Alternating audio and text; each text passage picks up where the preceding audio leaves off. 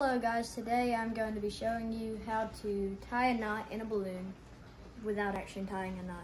So first, what you want to do is blow it up.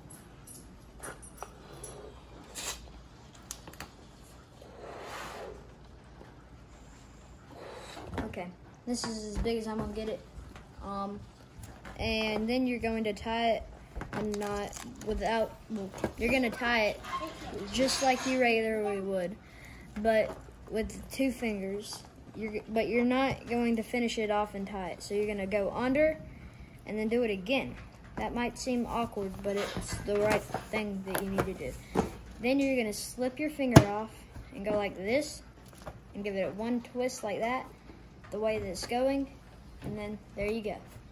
So you have a balloon and it's tied. Well, not really tied, but stuck together. You want to know how to undo it. What you need to do is you need to pull, and when you pull, you're going to see which way that this is going. Mine's going this way, so I'm going to pull, untwist that way. Then I'm going to pull it apart and let it sort of just spin out. And you'll hear the air leaking out. Then you're gonna blow.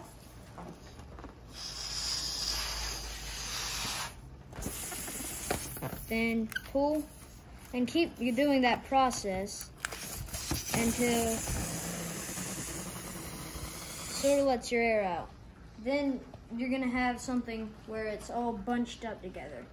You're gonna stick your finger in all the way through and like this. Then you're gonna pull and you're just gonna try to undo it. And if you have that, it's gonna be, it's fine. But there you go. You can reuse it as many times as you want. And you're done.